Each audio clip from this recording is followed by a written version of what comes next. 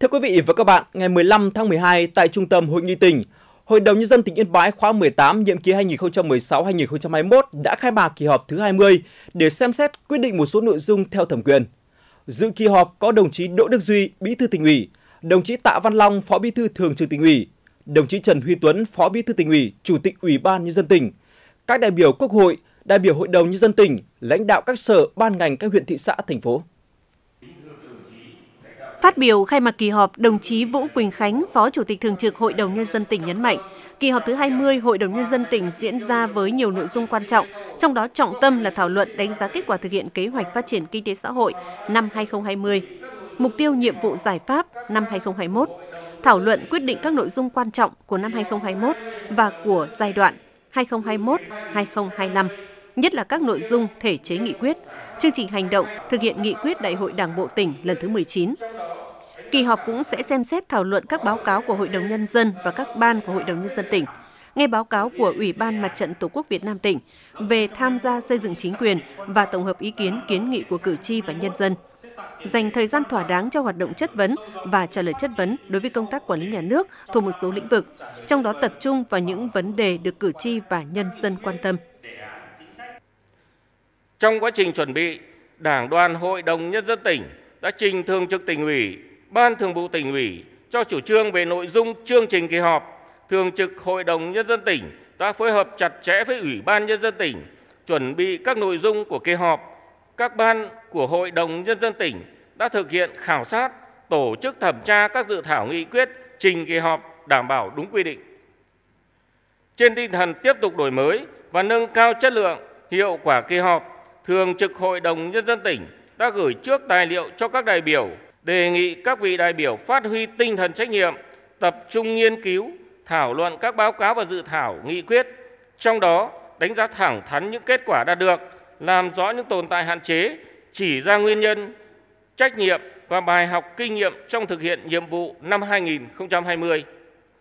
Từ đó, kiến nghị các giải pháp khả thi để thực hiện nhiệm vụ năm 2021 và quyết định các nội dung quan trọng của kỳ họp. Với tinh thần đó, tôi xin tuyên bố khai mạc kỳ họp 20 Hội đồng Nhân dân tỉnh. Chúc các đồng chí lãnh đạo tỉnh, các vị đại biểu khách quý cùng cử tri và nhân dân trong tỉnh mạnh khỏe, hạnh phúc và thành công. Xin trân trọng cảm ơn. Phát biểu chỉ đạo kỳ họp, đồng chí Đỗ Đức Duy, Bí thư tỉnh ủy nhấn mạnh. Kính thưa các vị đại biểu, thưa cử tri và nhân dân trong tỉnh. Theo chương trình kỳ họp, Hội đồng Nhân dân tỉnh sẽ thảo luận, đánh giá kết quả thực hiện kế hoạch phát triển kinh tế xã hội, dự toán ngân sách nhà nước, kế hoạch đầu tư công năm 2020 và giai đoạn 5 năm 2016-2020.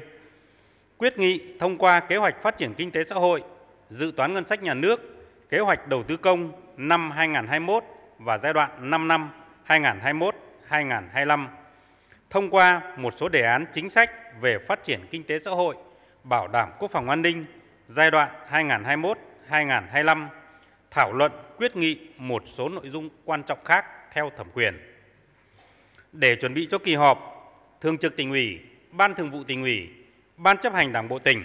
đã lãnh đạo Đảng đoàn Hội đồng Nhân dân, Ban cán sự Đảng, Ủy ban Nhân dân chỉ đạo các cơ quan chức năng chuẩn bị công phu kỹ lưỡng các báo cáo, tờ trình, dự thảo nghị quyết trình kỳ họp. Trực tiếp cho ý kiến định hướng đối với một số nội dung vấn đề quan trọng để các cơ quan chức năng bổ sung hoàn chỉnh trước khi trình kỳ họp. Để các vị đại biểu có thêm căn cứ thảo luận và quyết định, tôi xin nhấn mạnh một số vấn đề cụ thể như sau. Thứ nhất, về đánh giá kết quả thực hiện nhiệm vụ phát triển kinh tế xã hội năm 2020 và giai đoạn 5 năm 2016-2020. Với mục tiêu phân đấu về đích toàn diện các chỉ tiêu nghị quyết đại hội lần thứ 18 Đảng bộ tỉnh, ngay từ cuối năm 2019, tỉnh ủy đã ban hành chương trình hành động số 190, Hội đồng Nhân dân tỉnh ban hành nghị quyết số 34 về kế hoạch phát triển kinh tế xã hội năm 2020 để tập trung lãnh đạo chỉ đạo thực hiện ngay từ những ngày đầu, tháng đầu của năm với quyết tâm chính trị cao nhất. Tuy nhiên,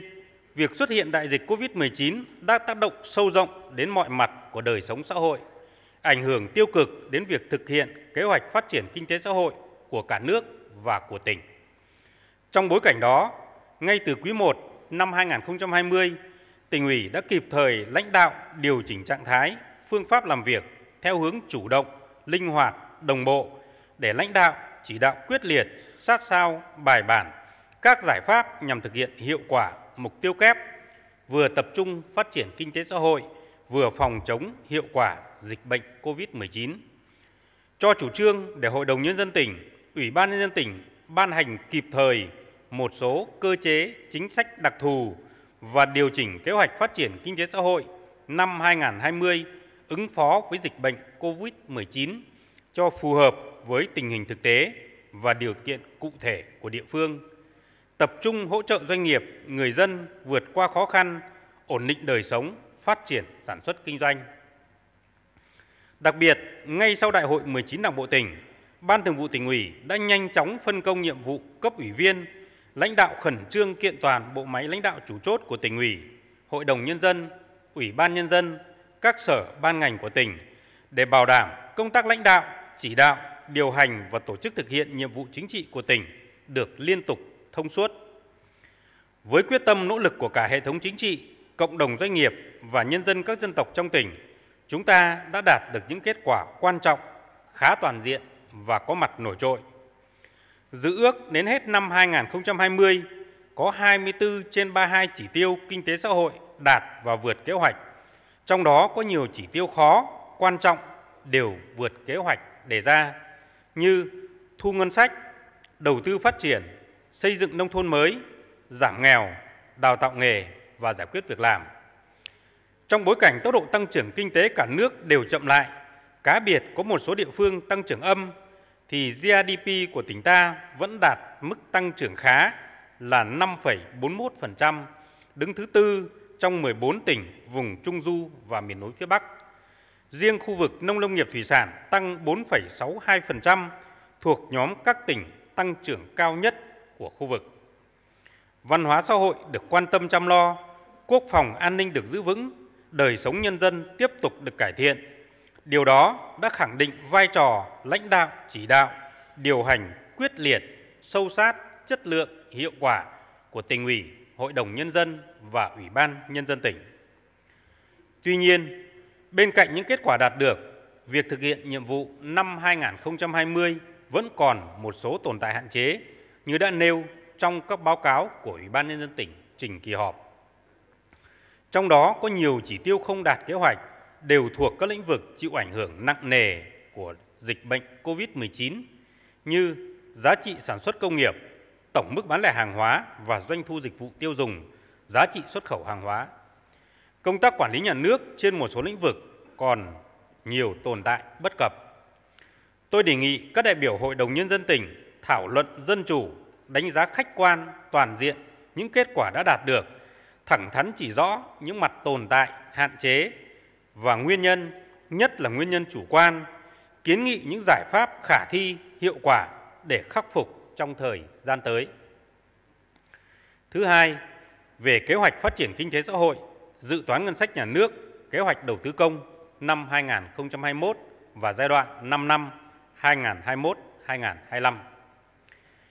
Nghị quyết đại hội lần thứ 19 Đảng bộ tỉnh đã xác định mục tiêu phát triển tỉnh Yên Bái nhanh, bền vững theo hướng xanh, hài hòa, bản sắc và hạnh phúc,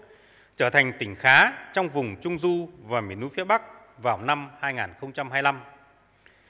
Ngày 30 tháng 10 năm 2020, tỉnh ủy đã ban hành chương trình hành động số 10 thực hiện nghị quyết đại hội. Trong đó đã xác định rõ các chỉ tiêu, nhiệm vụ, giải pháp và lộ trình thực hiện của Đảng bộ tỉnh trong cả nhiệm kỳ. Kế hoạch phát triển kinh tế xã hội, dự toán ngân sách nhà nước, kế hoạch đầu tư công năm 2021 và giai đoạn 2021-2025 chính là một bước cụ thể hóa, thể chế hóa các chỉ tiêu, nhiệm vụ phát triển kinh tế xã hội theo nghị quyết lần thứ 19 Đảng bộ tỉnh và chương trình hành động thực hiện nghị quyết. Tôi đề nghị các đại biểu Hội đồng Nhân dân tỉnh thảo luận, phân tích đánh giá đúng những thời cơ thuận lợi cũng như những khó khăn, thách thức trên cơ sở khai thác phát huy tối đa tiềm năng lợi thế của tỉnh để quyết nghị thông qua bộ chỉ tiêu pháp lệnh với mục tiêu phấn đấu cao, đồng thời có giải pháp khả thi, hiệu quả và lộ trình phù hợp để bảo đảm hoàn thành toàn diện mục tiêu nhiệm vụ phát triển kinh tế xã hội ngay từ năm đầu và trong cả nhiệm kỳ. Thứ ba,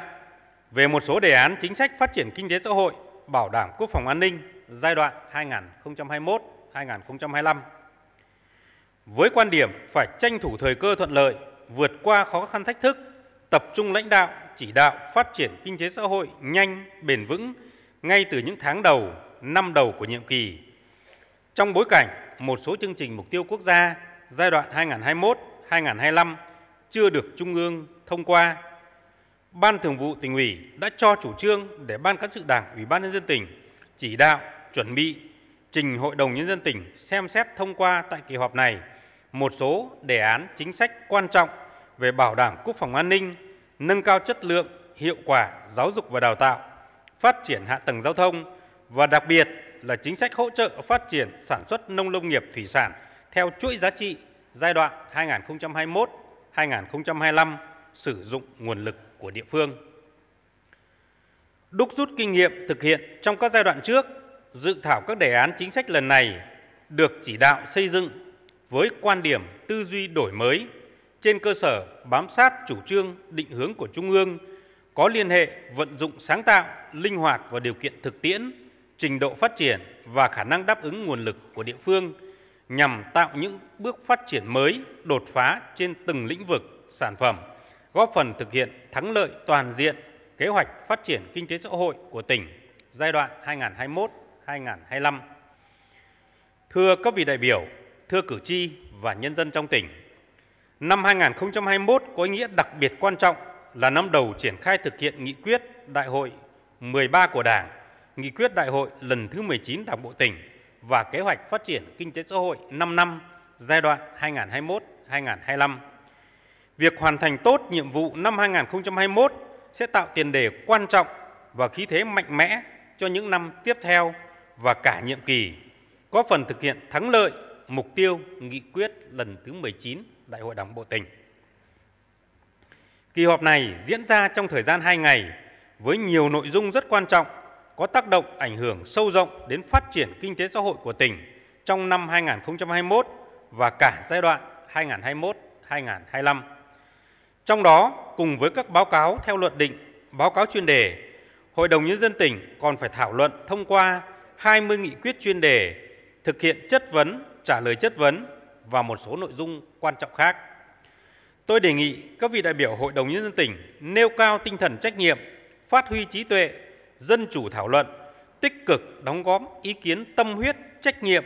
đạt tới sự thống nhất cao để quyết nghị thông qua các nghị quyết, đề án, chính sách đảm bảo chất lượng, hiệu quả và theo luật định. Đề nghị Ủy ban dân tỉnh, các thành viên Ủy ban dân tỉnh và các sở ngành chức năng chuẩn bị đầy đủ hồ sơ tài liệu, cung cấp thông tin, báo cáo giải trình làm rõ các nội dung trình kỳ họp để các đại biểu Hội đồng Nhân dân tỉnh có đủ căn cứ thảo luận và thống nhất thông qua. Ngay sau kỳ họp, đề nghị Ủy ban nhân tỉnh khẩn trương cụ thể hóa thành các quyết định, đề án, chương trình, kế hoạch và giải pháp điều hành sát thực hiệu quả. Đề nghị Hội đồng Nhân dân, các đại biểu Hội đồng Nhân dân tỉnh, Mặt trận Tổ quốc, các đoàn thể chính trị xã hội và nhân dân trong tỉnh tích cực giám sát việc thực hiện các nghị quyết của Hội đồng Nhân dân tỉnh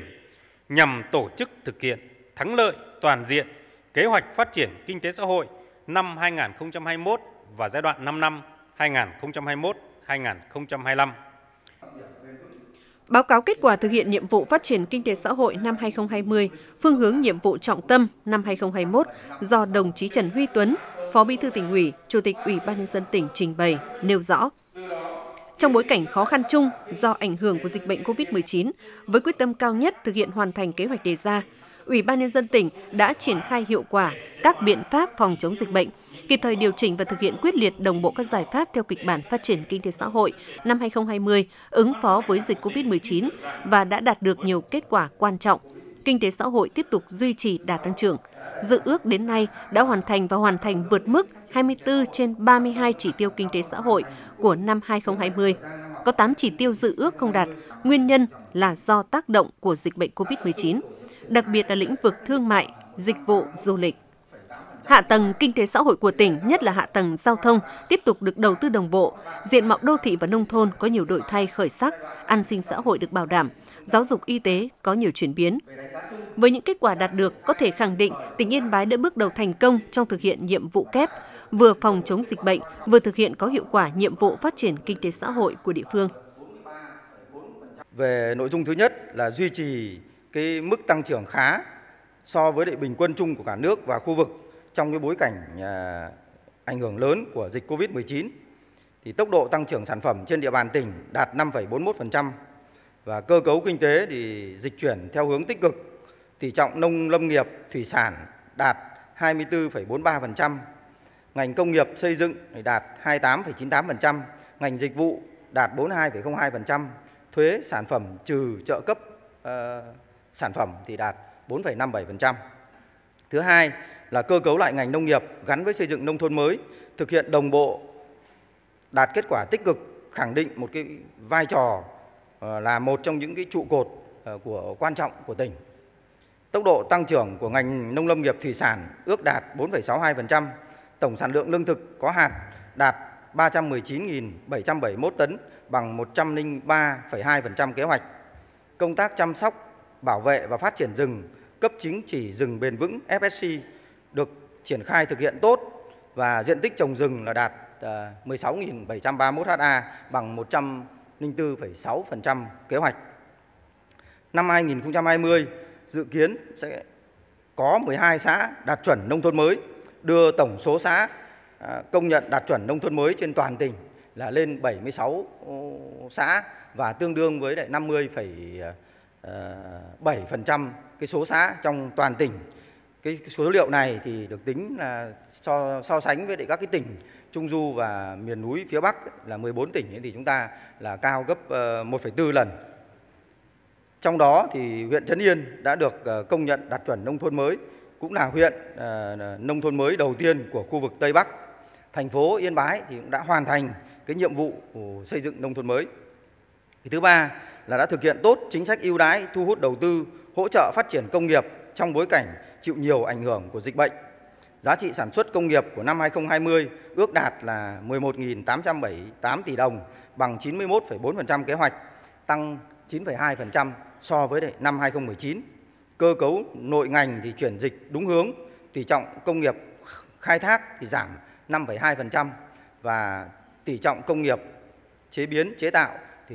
tăng 9,8% so với năm 2019.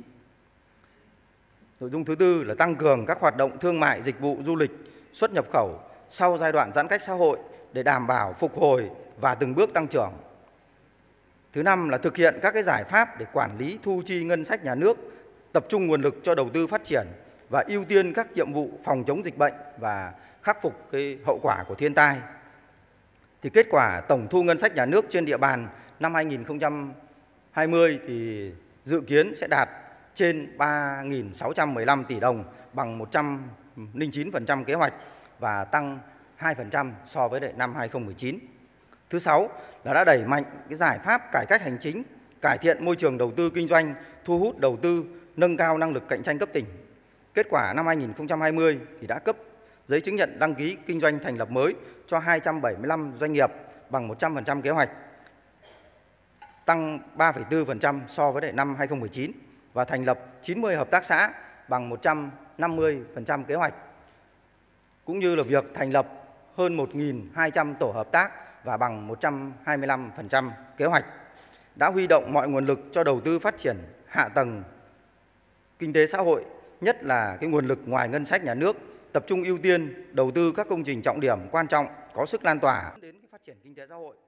Báo cáo do đồng chí Trần Huy Tuấn, Phó Bí thư tỉnh ủy, Chủ tịch Ủy ban nhân dân tỉnh trình bày cũng chỉ rõ những tồn tại hạn chế trong thực hiện nhiệm vụ năm 2020 của tỉnh, phân tích nguyên nhân của những tồn tại hạn chế, đồng thời đề ra phương hướng nhiệm vụ năm 2021 với 32 chỉ tiêu và những nhiệm vụ giải pháp chủ yếu để thực hiện.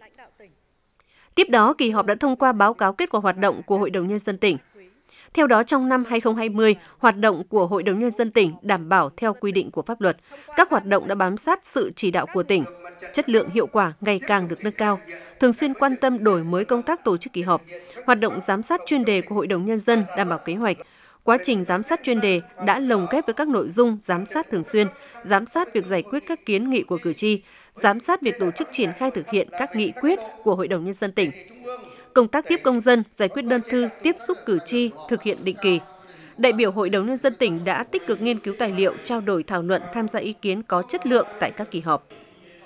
Tuy nhiên, do thực hiện việc giãn cách xã hội để phòng chống dịch bệnh COVID-19 nên có nội dung giám sát chưa đảm bảo theo kế hoạch